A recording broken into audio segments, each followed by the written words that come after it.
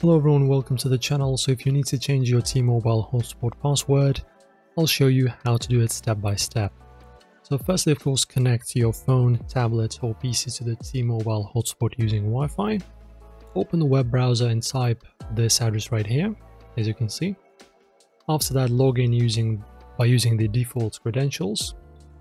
Alright, so it's going to be uh, admin and password is going to be uh, something usually printed on the back of your hotspot device if you've changed it before uh, your custom uh, use your custom password. So once logged in go to the Wi-Fi settings or network settings section look for Wi-Fi password or security key enter the new password uh, it's at least 8 characters click save or apply to confirm the changes.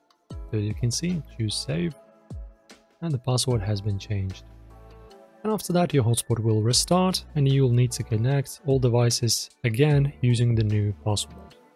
And that's it my friends, your T-Mobile hotspot has a new password now.